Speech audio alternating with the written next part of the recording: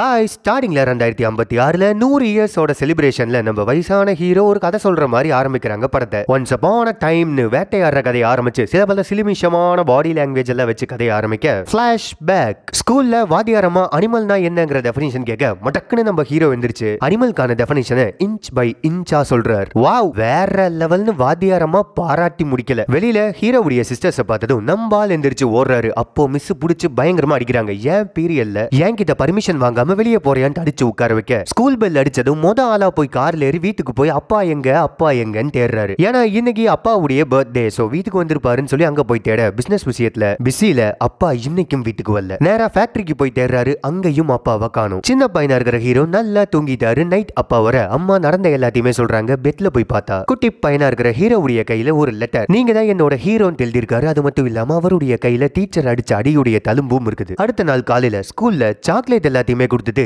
இந்த உலகத்திலேயே என்னுடைய அப்பா தான் பெஸ்ட் அப்பா. நாங்க மீட் பண்ண போற தருணத்துக்காக வெயிட் பண்ணிக்கிட்டு இருக்கேன்னு சொல்லும் போதே கட் பண்ணா ஹீரோ பெரிய பையனாயிட்டாரு. அப்படியே மாசா ரக்கடா வந்து பப்ல வைப் பண்ணிக்கிட்டு இருக்க. ஃப்ரெண்ட்ஸ் எல்லாத்தையும் அப்பாவுடைய அறுபதாவது பர்த்டே கொஞ்சம் நல்லா வரப்போகுதுன்ட்டு இன்வைட் பண்ணுகிறாரு. அப்படியே இன்வைட் பண்ணிட்டு ஃப்ரெண்ட்ஸ் எல்லாம் ரியூனியனா இருக்கும்போது அந்த ஸ்பாட்ல ஹீரோயினுக்கு நிச்சயதார்த்தம் நடக்குது. அதை பார்த்து வைபிங் மோட்ல இருந்தவர் அப்படியே ஃபீலிங் மோடுக்கு போக ஃப்ரெண்ட்ஸ் எல்லாத்தையும் வச்சுக்கிட்டு வைப் பண்றதுக்காக சின்ன வயசுல ஸ்கூல்ல பாருன பார்த்து எல்லாமே பாடுறாரு. வாவ்னு ஃபியான்சிட்ட ஒரு இன்ஃபர்மேஷன் கொடுத்துட்டு நேரா ஃப்ரெண்ட்ஸோட வந்து ஐக்கியம் ஆயிக்கிறாங்க ஹீரோயின் நேரங்கள் போகுது ஹீரோ ஹீரோயின் மட்டும் தனியா பேசிக்கிறாங்க. ஆக்சுவலா நம்ம ஹீரோயினுக்கு ஃபாரின் போகணும் பெரிய பெரிய டிகிரி பண்ணணும் பெரிய வேலை பண்ணணும் எக்கச்சக்கமான கனவுகள். அப்புறம் நிச்சயதார்த்தம் எப்படி நடந்துச்சு? லவ் ஆன்ட்டு விசாரிக்க.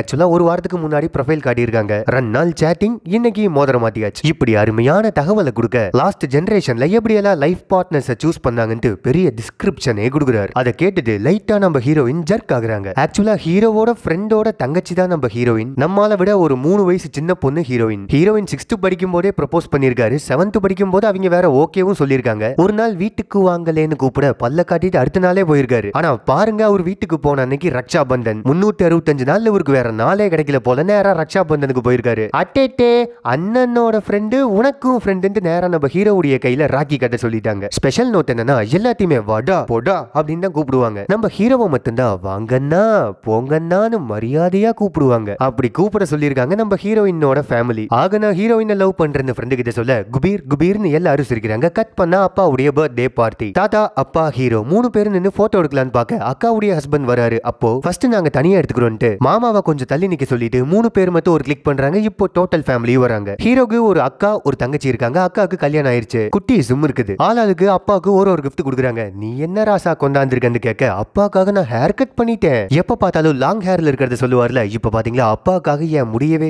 தியாகம் பண்ணிட்டேங்கிறார். ஏன்டா அவன் வைரம் வைடூரியன் வாங்கிட்டு வந்திருக்கோம். நாலனாக்கு பிரயோஜனம் இல்லாம முடிய வெட்டிட்டு வந்திருக்க நீ? அப்படின்ட்டு கேள்வி கேட்டுப்புட்டாங்க ஆனா அம்மா பாருங்க புரிஞ்சுக்கிட்டாங்க. அவன் ஸ்டைலையே அப்பாக்காக மாத்திருக்கானேன்ட்டு மலுப்புறாங்க. அப்பாவும் என்னங்கிறாருன்னா இதுவும் சூப்பரா இருக்குது. லாங் ஹேரும் உனக்கு நல்லா செட் ஆகுதுன்ட்டு சொல்லிட்டு எல்லாரும் போட்டோ எடுத்துக்கிறாங்க. இந்த பார்ட்டிக்கு சிஎம் வந்திருப்பாரு. சோ அக்காவுடைய ஹஸ்பண்ட் நேரா நம்ம ஹீரோவை வந்து பார்த்து இங்க வந்திருக்கிற சிஎம்க்கு வந்து ஒரு வணக்கம் போட்டுட்டுவான்னு சொல்றாரு. ஆனா நம்ம ஹீரோக்கு லைட்டா முட்டிக்கிச்சு. மாமா பண்ணிக்கிட்டு இருக்க பிசினஸும் மாமாவையும் ஹீரோவுக்கு பெருசா பிடிக்கவே பிடிக்காது. ஏன்னா அக்காவுக்கு கல்யாணம் நடக்கும்போது ஒரு லண்டன்ல என்னமோ படிச்சுக்கிட்டு இருந்திருப்பாரு. இவர்கிட்ட பெருசா சஜஷனே கேட்காம கல்யாணம் பண்ணி வச்சுட்டாங்க. இப்போ மாமா பண்ற பிசினஸ்னால வர ஒரு பொல்யூஷனை சுட்டி காட்டிட்டு சிஎம் முன்னாடி போய் நீங்க கூனி குறுகி எல்லாம் நில்லுங்க. என்னால அதெல்லாம் பண்ண முடியாது. நம்ம குடும்பத்துக்குன்னு ஒரு கெத்து இருக்குது. அதை நீங்க விட்டு கொடுத்துறாதீங்கிற மாதிரி பேசுறாரு. இப்படி பேசுற நம்ம ஹீரோவை அக்கா தடுக்க வராங்க. ஆனா மாமா பாருங்க அக்காவை கண்ட்ரோல் பண்றாரு. சிம்பாலிக்கா மாமாவுடைய வீட்டுல அக்காவுக்கு பேச்சுரிமை கூட இல்லைன்ட்டு ஹீரோ தெளிவா புரிஞ்சுக்கிறாரு. ஏதாச்சும் சொன்னா எதிர்த்து பேசி பழகு அமைதியா இருக்காதுன்ட்டு அக்காவுக்கு அட்வைஸ் பண்றாரு. ஆனா அக்காவோ அக்காவோ மாமா கிட்ட சாரி கேட்க சொல்றாங்க.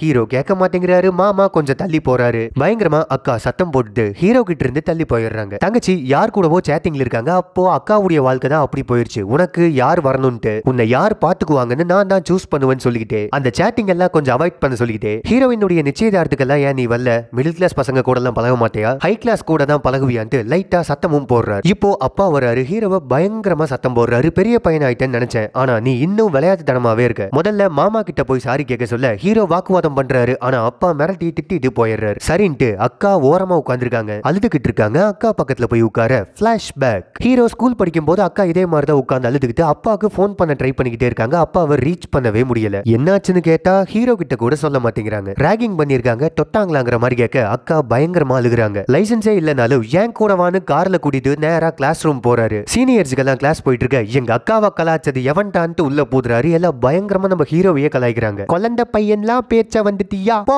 அப்படின்ட்டு ஓவரா ஸ்லாங் எல்லாம் மாறி மாறி திட்ட அக்கா வாங்கியே விட்டுட்டு லைட்டா வெளியே போயிட்டு உள்ள வராரு. பங்கமான சீன் மிஷின் கண்ணை தூக்கிட்டு வந்து பட பட படப்படன்னு கீழே இருக்கிற நிலத்தெல்லாம் சுட்டுட்டு நேரா ரேகின் பண்ணானுங்க பாத்தீங்களா சீனியர்ஸ் பக்கத்துல போய் ஸ்டைலா கன்னை வச்சுட்டு நிக்க. அண்ணா நம்ம அக்காவை நாலு பேர் கலாச்சாங்கன்னா ஆனா பாருங்க இட்லி அமைக்கிட்டு நேரா வெளியே போயிட்டாங்க. நீங்க ஏதாச்சும் பிரச்சனை பண்ணணும்னா அவங்க கிட்ட பண்ணுங்கன்னான்ட்டு ரொம்ப பவ்யமா சொல்றானுங்க. நாளைக்கும் நான் வருவன்ட்டு அக்காவை கூட்டிட்டு கார்ல போயிட்டு இருக்காரு. அப்ப அக்கா பயங்கரமா திட்டுறாங்க. ஏதாச்சும் பிரச்சனைனா உன்னை ஜெயில போட்டுருவாங்கடா நீ கொலகாரன் ஆயிருப்பன்ட்டு பயங்கரமா சத்தம் போடுறாங்க. உனக்கு ஒரு பிரச்சனைனா நான் கொலகாரன் கூட அவன்ட்டு பயங்கர ரோசமா ஓட்டிக்கிட்டு இருக்க ரெண்டு சைடுல வேணும்னே பிரச்சனை பண்றதுக்கு அந்த ரேக்கிங் கைஸ் வராங்க. கார்லயே ரெண்டு பக்கமும் லெஃப்ட் ரைட்னு திருப்ப டமால் டுமில் அடிபட்டு விழுகிறாங்க. ஒருத்தனை சேசிங் பண்ணிட்டு போய் அடிச்சு தூக்குறாரு. விஷயம் அப்பாவுக்கு தெரிய வருது ஹீரோவை பயங்கரமா அடிச்சு. கொஞ்சம் விட்டுனா நீ ஜெயிலுக்கே போயிருப்ப. ஏன் இப்படி ரவுடியா வளரன்ட்டு பயங்கரமா சத்தம் போடுறாரு. அப்போ நம்ம ஹீரோ ஒரு வார்த்தை சொல்றாரு. அக்காவை சொல்ல முடியாத வகையில ரேக்கிங் பண்ணிருக்காங்க. இந்தியாலேயே பெரிய பணக்காரரோட பொண்ணுக்கு தன்னோட சொந்த காலேஜ்லயே பாதுகாப்பு இல்லைன்னா என்னன்னு சொல்ல? என் அக்காக்கு ஒரு பிரச்சனைனா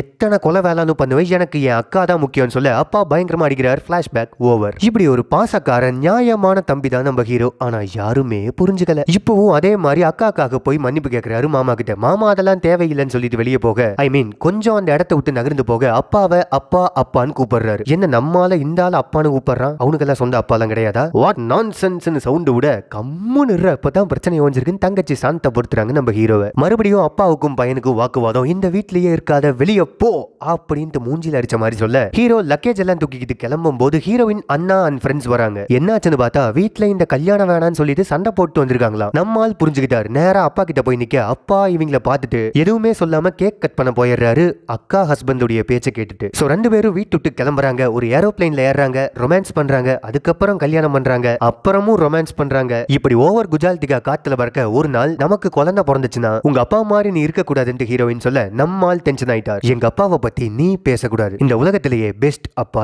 ஏன் அப்பா? அப்படின்ட்டு ஹீரோயினை பயங்கரமா திட்டிடுறாரு. அப்புறம் சமாதானம் ஆயிட்டாங்க அப்புறம் சம்பவமாச்சு. இப்படி சம்பவமும் சமாதானமும் மாத்தி மாத்தி நடக்க கட் பண்ணா ஹீரோ பயங்கரமா முடியெல்லாம் வளர்த்திட்டு வேற ஒரு கெட்டப்ல ஷேவிங்கே பண்ணாம இருக்கிற ஒரு பத்து பாஞ்சு பேரை கன்ஸோட கூட்டிட்டு ஒரு இடத்துக்குள்ள போறாரு. அந்த இடத்தை டேக் ஓவர் பண்ணி அக்காவோட ஹஸ்பண்ட் மாமா இருப்பார் பாத்தீங்களா? அவரை களத்தை நெரிச்சே கொள்றாரு துடிக்க துடிக்க அக்காவுடைய ஹஸ்பண்ட கொன்ன பிறகு அக்காவுடைய ஹஸ்பண்ட் மாமாவோ சில பேர்த்த ஹோட்டல்ல தங்க வச்சிருக்காருங்க. அவங்க எல்லாத்தையும் பயங்கரமா அடிச்சு விசாரிச்சுக்கிட்டே ஃப்ரெடின்ட்டு ஒருத்தர் எப்ப வருவாருன்னு விசாரிக்க கொஞ்ச நாள்ல வரப்போறாருன்னு தகவல் வருது. டைட்டில் அனிமல் வீட்டுக்கு வர ஹீரோயின் நம்ம ஹீரோவை பார்த்து வெளியில ரொம்ப ஜாலியா சந்தோஷமா இருந்தோம். ஆனா இங்க வெளியே போறனா கூட செக்யூரிட்டி கார்ட்ஸ் கன்ஸோட வராங்க. எனக்கு ரொம்ப பயமா இருக்குன்னு சொல்லி புலம்பிக்கிட்டே இருக்காங்க. இத்தனை நாளையில நம்ம ஹீரோ ஹீரோயினுக்கு ஒரு பையன் ஒரு பொண்ணுங்க. சம்திங் என்னமோ அங்க நடந்திருக்கு. சோ அதுக்காக தான் ஹீரோ இப்படி மாறி இருக்காரு இன்னும் கொஞ்ச நாளைக்கு இப்படிதான் இருக்குன்னு ஹீரோயின் கிட்ட சொல்லி சமாதானப்படுத்தி லைட்டா ரொமான்டிக்கா ட்ரை பண்ண அக்கா பயங்கரமா பதற சத்தம் கேக்குது. என்னாச்சுன்னு போய் விசாரிக்க. மாமா வீட்டுக்கு வந்து ரொம்ப நாள் ஆச்சு. என்ன போனாரு? எங்க ஆனாருன்னு தெரியல. போன் பண்ணா ஸ்விட்ச் ஆஃப் பயமா இருக்குன்னு பதறாங்க. சோ மாமாவை கொன்ன விஷயம். ஹீரோ அக்காக்கே சொல்லல. கட் பண்ண பிளாஷ்பேக் அப்பாவை யாரோ ஒருத்தங்க ஷூட் பண்ணிட்டாங்க. சோ அது பயங்கரமான சென்சேஷனல் நியூஸ் ஆக ரொம்ப வருஷத்துக்கு அப்புறம் இன்னைக்கு அப்பாவை பாக்குறதுக்காக வரார். ஹீரோ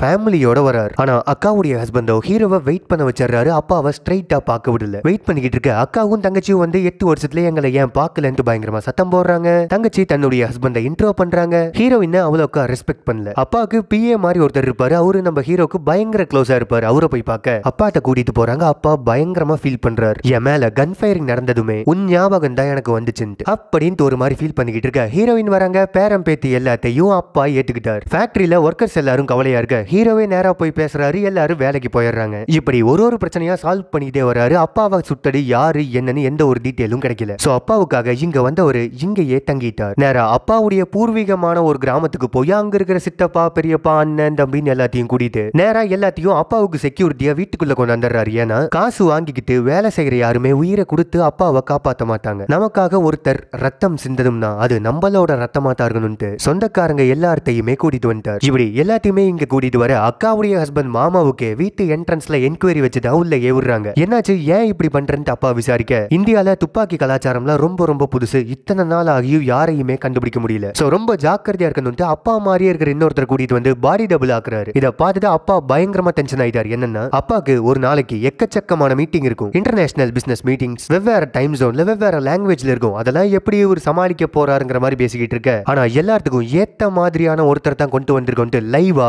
மாப்பிள்ள இருக்காரு பாத்தீங்களா? அக்காவுடைய ஹஸ்பண்ட் அவர்கிட்ட இந்த பாடி டபுள் வச்சு அப்படியே லைட்டா பேச வைக்கிறாங்க. அப்படியே நம்பிட்டார் அவரு. அவ்வளவு பெர்ஃபெக்ட்டா நடிச்சிட்டாரு இந்த பாடி டபுள் சோ அந்த பாடி டபுள வெளியில எல்லா பக்கமும் அனுப்பிச்சிட்டு வீட்ல இருந்தே கண்ட்ரோல் பண்ணிக்கிறாரு. நிக்கிறாரு நம்ம ஹீரோவோட அப்பா. அப்பான்னு பாருங்க வீட்டுக்கு கூட்டிட்டு வந்தாரு பாத்தீங்களா? ஹீரோவுடைய தம்பிய ரிலேட்டிவ்ஸ்ன்ட்டு நைஸா கொஞ்சம் அஜால்ஸ் குஜால்ஸா இருக்காங்க. அட பாவிகளா! அந்நிய ஊர்ல வச்சுட்டு என்னடா பண்றீங்கன்னு கேவலமா கேட்டு அத்தனை பெட்டி வெளியே அனுப்பிட்டு ஒருத்தருக்கு ஒன்னு இருக்கணும்னு பயங்கரமா பேசிட்டு இவங்க எல்லாத்தையும் கண்ட்ரோல்ல வச்சிருக்காரு ஹீரோ. ஒரு நாள் அப்பாவுடைய பாடி டபுள் கார்ல வந்துகிட்டு இருக்கும்போது யாருனே தெரியாத ஒரு பயங்கரமான கேங் காரை சரௌண்ட் பண்ணி பயங்கரமா அட்டாக் பண்றாங்க. புல்லட் ப்ரூஃப் கிளாஸ் தான். டிரைவரும் ஏமாத்திக்கிட்டு ஓடி போயிடுறாரு. புல்லட் ப்ரூஃப் கிளாஸ்ங்காட்டி புல்லட் எல்லாம் உள்ள வர முடியல. இருந்தாலும் அந்த கிளாஸை உடைச்சு அந்த பாடி டபுளை கொண்டுறாங்க இப்போ ஷூட் பண்ணாங்க பாத்தீங்களா? இந்த கேங்குக்கு ஒருத்தர் லீடரா இருக்காரு. ஹீரோவுடைய அப்பாவை குன் நினைச்சது பயங்கர ஹாப்பியா இருக்காரு. நெக்ஸ்ட் டே அக்காவுடைய ஹஸ்பண்ட் டெட் பாடியை பார்க்க வர ஷாக் அப்பா உயிரோடு இருக்காரு. பார்த்தா தான் பயங்கரமான பிளான் தெரியுது. அக்காவுடைய ஹஸ்பண்ட் மாமாவும் அந்த கேங்குடைய ஹெட்டும் சேர்ந்து போட்ட பிளான் தான் இது. ஃபோன் பண்ணி உண்மை எல்லாத்தையுமே அக்காவுடைய ஹஸ்பண்ட் அவருக்கு சொல்ல. வெளியில நான் அப்பாவை கொல்றேன். உள்ள நீ ஹீரோவை கொன்றுன்ட்டு. அக்கா ஹஸ்பண்ட் கிட்ட அவரு போன்ல பிளான சொல்றாரு. இதுல முக்கியமான விஷயம் என்னன்னா அக்காவுடைய ஹஸ்பண்டோட போனை ட்ராப் பண்ணிக்கிட்டு இருக்காரு ஹீரோ ஸோ இவங்களுடைய பிளான் எல்லாமே ஹீரோக்கு தெரிய வர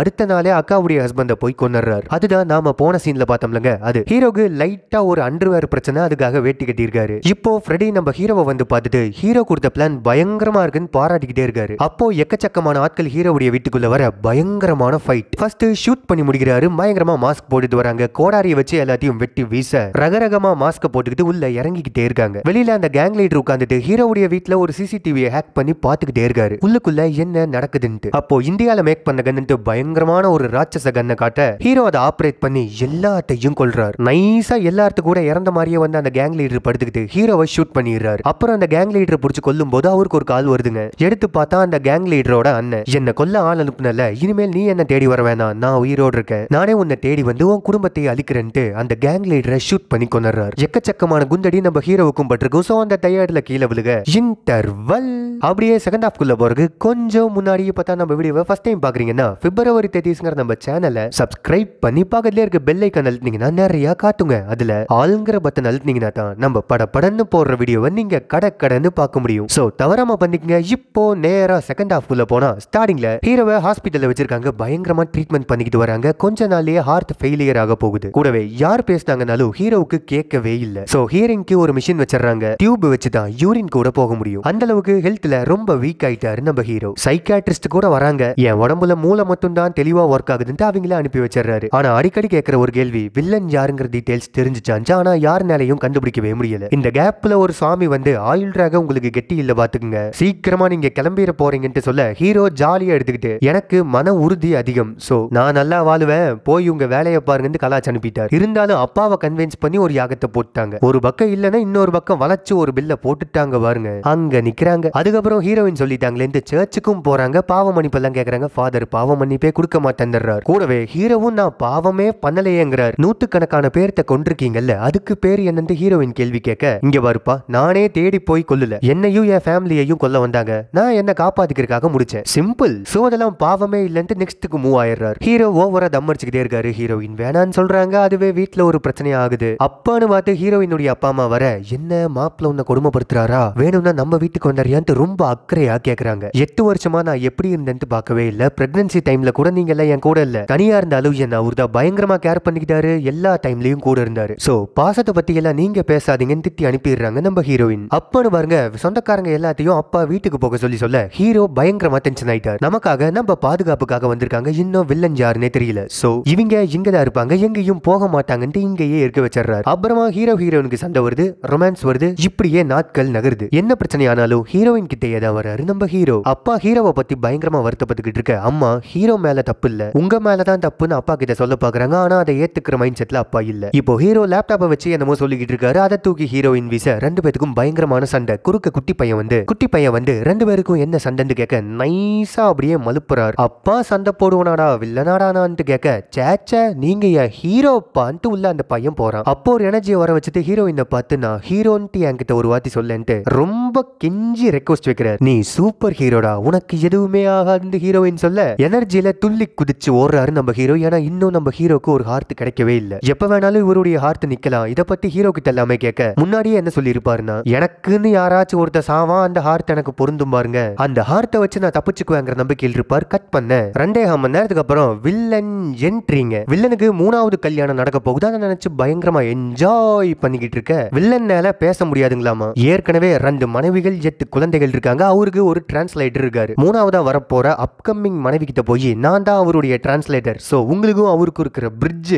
நான் தான் இன்ட்ரோ கொடுக்க இந்த வில்லனோட ப்ரீவியஸ் மனைவிகள் சிகரெட் அடிச்சுட்டே ஒரு மாதிரி டிஸ்கஷன்ல இருக்காங்க. அவங்களுக்கு பெருசா வில்லன் மேல ஒரு லவ் இருக்கிற மாதிரி எல்லாமே தெரியலீங்க. கரெக்டா கல்யாணம் பண்ண போகும்போது அண்ணனை ஒருத்தர் கொன்னுட்டாருன்ட்டு வில்லனுக்கு தகவல். ஸோ அந்த தகவல் கொடுத்தவனை கொண்டுட்டு தகவல் கொடுத்த அந்த நபரை கொண்டுட்டு டிரான்ஸ்லேட்டர் பக்கம் திரும்ப போன்ல அந்த டிரான்ஸ்லேட்டர் தான் பேசியிருப்பாரு. கொஞ்ச நாள் கழிச்சு சொல்லலாமே கல்யாணம் முடிஞ்சு சொல்லலாமே வெயிட் பண்ணன்னு தவிர்த்தனர மூணாவது ஒய்ஃப் இருப்பாங்க பாத்தீங்களா? அவங்க கிட்ட கொஞ்சம் அப்படி இப்படி நடந்துக்கிட்டு அடுத்த செகண்டே செகண்ட் ஒய்ஃப் பக்கத்துல சொல்ல முடியாத வகையில நடந்துட்டு நேரா ஒருத்தனை தேடி போய் அங்க இருக்கிற எல்லாத்தையும் கொள்றாரு வில்லன் என்னன்னா இத்தனை பேர்த்த வில்லன் இப்போ கொள்றாரு பாத்தீங்களா? ஒரு காலத்துல வில்லனோட தாத்தா ஒரு கம்பெனியில இருந்து தூக்கி வீசப்பட்டார். அத எப்படியாச்சும் பழி வாங்கணும்ட்டு இப்போ சாகடிக்கப்படுறாங்க பாத்தீங்களா? குரூப் பர்சனல் ஈகோவா மாத்துறாங்க. சோ ஒரு பையனை தேடி போறாங்க. அப்படி தேடி போன இடத்துல சின்ன தப்பு நடந்த காத்தி என்னோட அண்ணன் இறந்து போயிட்டார். அதுக்காக உங்க எல்லாத்தையுமே கொல்லு வந்து எல்லாத்தையும் கொண்டுறாரு வில்லன் இங்க ஹீரோக்கு ஹார்ட்டை மாத்தி வச்சுட்டாங்க. செம்ம ஃபிட் ஆயிட்டார். அப்போ எசகு பிசகா வீட்டு முன்னாடி நடந்து வர மூணு மாசமா அப்பாயின்மெண்ட் கேட்டுக்கிட்டு இருக்காங்கன்ட்டு ஒரு பொண்ணு ஹீரோ முன்னாடி வந்து நிக்கிறாங்க. ஆக்சுவலா இந்த பொண்ணோட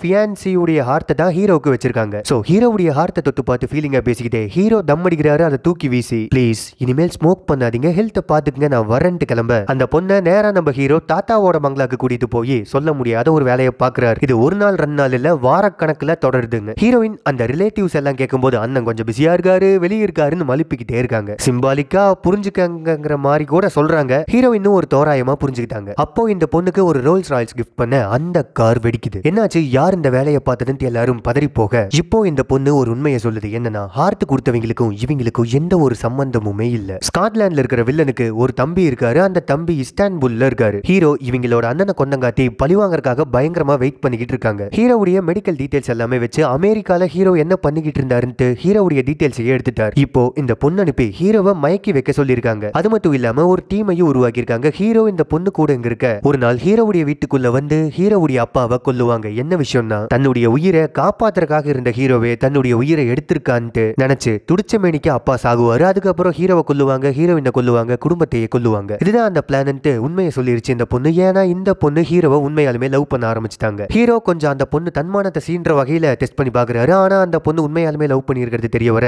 இப்படி பொய் சொல்லி ஏமாத்தின இந்த பொண்ணு உயிரோட விட்டுருங்க. எங்க போகணும்னு சொல்றாங்களோ அங்க வழி அனுப்பி வச்சிருங்கன்ட்டு தம்பிகள் எல்லாத்தையுமே சொல்லிட்டு பயங்கரமான ட்விஸ்ட் ஒன்று ஓபன் பண்றாரு ஹீரோ என்னன்னா ஃபர்ஸ்ட் ஃபர்ஸ்ட் இந்த பொண்ணு வந்து ஹீரோவை பார்க்கும்போதே சம்திங் ராங்னு பட்டிருக்குது. ஆனா வில்லன் பத்தி எந்த ஒரு துப்புமே கிடைக்கல இல்ல ஹீரோ நேரா வீட்டுக்கு போறாரு தாத்தாவை பார்த்து என்ன ஆச்சுன்ட்டு ஒரு பிளாஷ்பேக்கை கேட்க தாத்தா கூட பிறந்தவங்க தாத்தாவை சேர்த்து மூணு பேர். பெரியவர் ஊர்லயே தங்கிட்டாரு சின்னவங்க ரெண்டு பேரும் தான் இங்க இந்த உலகத்தையே கண்ட்ரோல் பண்ணணும்னு கிளம்புறாங்க. ரெண்டு பேரும் சேர்ந்து ஸ்டீல் கம்பெனியா ஆரம்பிக்கிறாங்க. ஆனா கொஞ்ச நாள்லயே அவருடைய குணம் மாற ஆரம்பிச்சது எக்கச்சக்கமா துரோகம் பண்ண ஆரம்பிக்கிறாரு. சோ ஸ்வஸ்டிக் ஸ்டீல் கம்பெனில இருந்து அவர் போயிடுறாரு நம்ம தாத்தா. இந்த கோவத்தினால இந்தியாவை விட்டே குடும்பத்தோட வெளியே போயிடுறாரு தாத்தாவுடைய பிரதர் சில வருஷத்துக்கு அப்புறம் நெருப்புல கொளுத்திக்கிட்டு இறந்துட்டாரு நியூஸ் வருது. அப்புறமா அவருடைய பையன் இங்க வராரு. குடும்பம் வேணும்னு வராருன்னு தாத்தா சொல்ல குறுக்க ஹீரோவுடைய அப்பா வந்து குடும்பத்துக்காக லவர் வரல. ஸ்வஸ்டிக்ல தன்னுடைய ஷேர் வேணும்னு வந்தாருன்னு சொல்லி ஸ்வஸ்டிக்ல இனிமேல் உனக்கு ஷேர் கிடையாதுன்னு அனுப்பிட்டேன்னு சொல்றாரு. அதாவது இங்க ஷேர் கேட்டு வந்தாரு பாத்தீங்களா? அதுதான் வில்லனோட அப்பா. ஷேர் இல்லன்னு சொல்ல வெளிநாடு போய் வேற மதத்துக்கு மாறி ரெண்டு மூணு கல்யாணம் பண்ணிக்கிட்டாரு. அவருக்கு எக்கச்சக்கமான ஒய்ஃப் எக்கச்சக்கமான வாரிசுகள். ஆனா இப்படி இப்படி ஒரு பிரச்சனை வரும்னு நான் நினைச்சு பார்க்கலன்னு தாத்தா சொல்ல இதை ஏன் ஃபர்ஸ்டே ஏன் கிட்ட சொல்லலன்னு ஹீரோ கோச்சுக்கிறாரு. அது மட்டும் இல்லாம தாத்தா கூட மூத்த அண்ணன் ஒருத்தர் இருப்பாரு பாத்தீங்களா? அவங்களோட வம்சாவளி தான் இப்போ ஹீரோக்கு செக்யூரிட்டியா இருக்கிறவங்க. அதே மாதிரி இவங்கள மாதிரியே அவனும் அண்ணன் தாங்கிற மாதிரி சொல்ல ஹீரோ பயங்கரமா டென்ஷன் ஆயிடுறாரு. யாரு அண்ணன் தம்பி என்ன மதங்கிறதுலாம் எனக்கு முக்கியம் இல்ல. குடும்பத்தை கொல்ல நினைக்கிறாங்க. அவங்கள இவங்களோட வச்சு பேசாதீங்க. அப்பாவை கொல்ல நினைக்கிறது யாரா இருந்தாலும் நான் கொல்லுவேன் நேரா ஹீரோயினை போய் பாக்குறாரு. இவர் பண்ண தப்ப பத்தி சொல்ல ஹீரோக்கும் ஹீரோயினுக்கும் பயங்கரமான சண்டை. உன் அப்பா மேல வச்சிருக்கிறது பாசம் இல்ல அது ஒரு வியாதி. அன்னைக்கு உன் அப்பா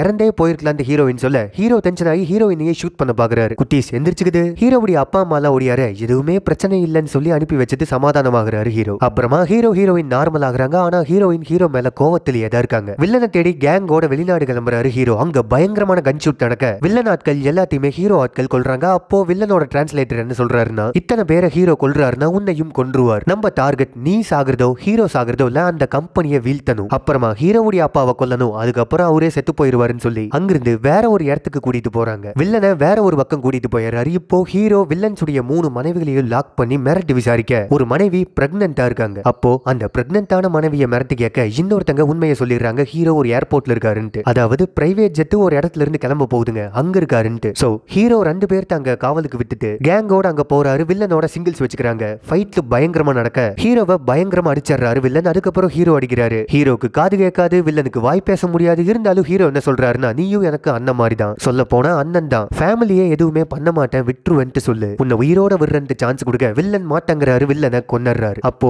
வில்லனுக்கு ட்வின்ஸ் பிறகுது. ஐடென்டிக்கல் ட்வின்ஸ் நேரா ஹீரோ அங்க அங்க வீட்டுக்கு வர தீபாவளி செலிப்ரேஷன்ஸ் ஹீரோ அப்பா கிட்ட வந்து பேச அப்பாவோ டாக்டர்ஸ் ரொம்ப நாட்கள் இருக்க மாட்டேன். ஆறு மாசம் தான் இருப்பேன்னு சொல்லிட்டாங்க. சோ அவ்வளவுதாங்கிற மாதிரி ஃபீலிங்கா பேச ஹீரோ மேல இன்னமும் தப்பு சொல்லிக்கிட்டே இருக்காரு. அப்போ ஹீரோ என்ன சொல்றாருன்னா சின்ன வயசுல நான் ஒரு காம்படிஷனுக்கு ஜெயிச்சுட்டு வந்தேன்ல. அப்போ கூட நமக்கு நடந்த கான்வர்சேஷனை லைட்டா இன்டர்சேஞ்ச் பண்ணிக்க வந்து நீங்க நானா இருங்க நான் நீங்களா இருக்க ஸ்டார்ட்னு சொல்ல அப்பா ஹீரோ கிட்ட பேச வராரு. அப்போ ஹீரோவோ பயங்கரமா டென்ஷன் ஆகி போன் பேசிக்கிட்டே பயங்கரமா திட்டுறாரு. சோ அப்பா இந்த மாதிரி தான் சின்ன வயசுல தன்னை வளர்த்திருக்காருன்ட்டு அப்பாக்கு நாசூக்கா புரிய வச்சுட்டார். இப்போ அப்பா ஒரு மாதிரி ஃபீலிங் ஆகி அடுத்த ஜென்மம்னு ஒன்னு இருந்தா நான் உனக்கு மகனா வந்து பிறகுறேன் நீ என்ன நல்லா பாத்துக்க. அதுக்கு அடுத்த ஜென்மத்துல நான் அப்பாவா பிறகுறேன் உன்னை நல்லா பாத்துக்குவேன்ட்டு பயங்கரமா சொல்லி போக ஓ ஓ லிஸ்ட் ரொம்ப பெருசா போகுதப்போன்ட்டு அப்படியே ஜாலியா இருக்கிறாங்க. கொஞ்ச நாட்களுக்கு அப்புறம் அப்பா இறந்துடுறாரு. ஹீரோயின் குட்டீஸை கூட்டிட்டு அம்மாவுடைய வீட்டுக்கு போக குட்டி பையன் ஓடியாந்து ஹீரோவை பயங்கரமா கட்டி பிடிக்கிறான் சோ தன்னோட அப்பா ஸ்ட்ரிக்டா இருந்த மாதிரி தன்னுடைய பையன் கிட்ட ஹீரோ ஸ்ட்ரிக்டா இல்ல. ஒரு பாசக்கார அப்பாவா தான் இருக்காரு. கட் பண்ண வில்லனோட தம்பி இஸ்தான்புல்ல இருக்காருன்னு சொன்னாங்கல்ல அவரு நேரா வில்லன் வீட்டுக்கு வராருங்க. நம்ம ஹீரோவா அங்க ஒரு ரெண்டு பேர்த்த பாதிகாரா கார்டா விட்டுட்டு போயிருப்பாரு பாத்தீங்களா? அவங்க ரெண்டு பேர்த்த புடிச்சு வச்சுக்கிட்டு ஒரு பொண்ணை வேவு பாக்கறக்கு அனுப்பியிருப்பாங்கல்ல நம்ம ஹீரோக்குங்க அந்த பொண்ணை மிரட்டிக்கிட்டே அங்க இருக்கிற ரெண்டு பேர்த்த கொலை பண்ணிட்டு அந்த குழந்தை பெற்றிருக்கிற வில்லனோட ஒய்ஃபை நான் கட்டிக்கணுங்கிறாரு. அவங்களும் ஓகே சொல்றாங்க. சோ அண்ணிய கல்யாணம் பண்ணிக்கணும்னு அவரு இருக்க ஹீரோவை கொலை பண்றதுக்கு